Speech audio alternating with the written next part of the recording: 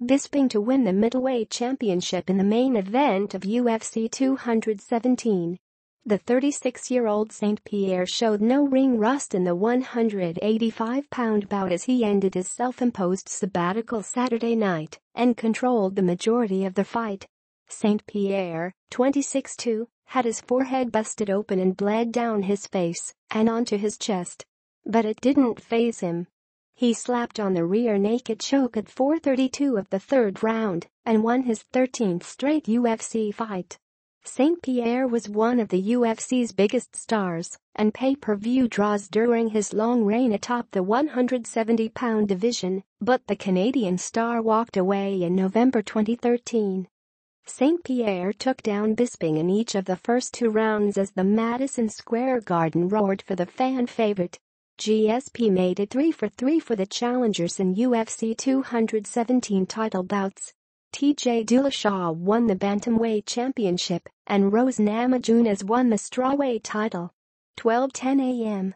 TJ Dillashaw dropped undefeated Cody Garbrandt with a right and finished him off in the second round to win the 135-pound championship at UFC 217.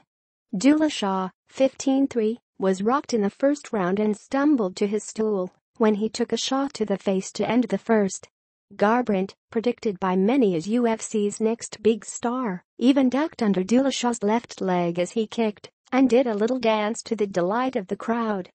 But Dillashaw stunned Garbrandt with a high left kick to the head and then a right hook that corkscrewed Garbrandt's body and effectively ended the bout.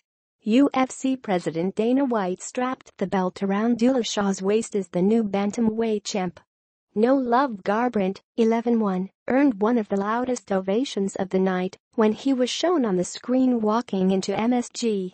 He walked out having lost his shot at taking the next step as UFC's hopeful breakout star.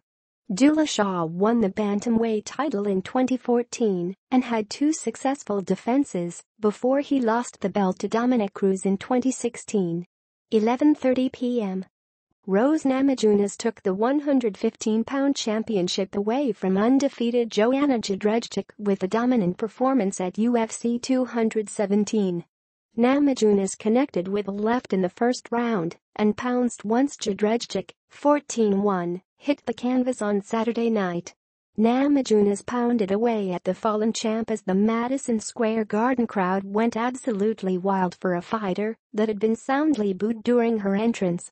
Namajunas, 17-3, ended bid at matching Ronda Rousey's women's record with six straight title defenses. Namajunas choked back tears as UFC President Dana White slapped the strawweight championship belt over her shoulder. She was drowned out by the roars as she spoke about what the championship meant to her inside the octagon. Just confidence, conditioning, composure, content that I'm the champion, she said.